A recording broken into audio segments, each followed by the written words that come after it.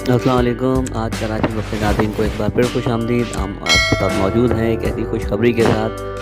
जी हम बात कर रहे हैं मवेशी मंडी की और मवेशी मंडी का क़्याम जो है वो कई मबाद पर लगाया जा रहा है, जो कि आवाम की सहूलत के लिए होगा। अतराफ़ के जो लोग हैं, जो कि मंडी के हवाले से जो दूर दराज जो कि बड़ी मंडियों में जाने के लिए मतलब मुश्किल का शिकार रहते हैं। तो उनके लिए ये एक अच्छी खुशखबरी है कि जी यहाँ एक मंडी का क़्याम किया जा रहा है, जो कि वाक़ है, जाम सादिक पुल से लेफ़्ट का जो कईम आबाद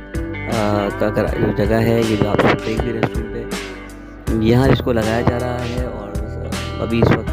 आवाम की सहूलत के हवाले से मुख्तु चीज़ों का जो स्टॉल है, उसको अभी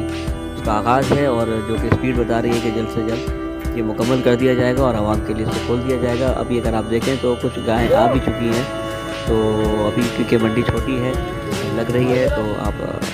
जैसी मुकम्मल होती है तो हमारे साथ रहिएगा, हम आपको अपडेट करते रहेंगे। पाकिस्तान, जिंदाबाद, अल्लाह हाफ़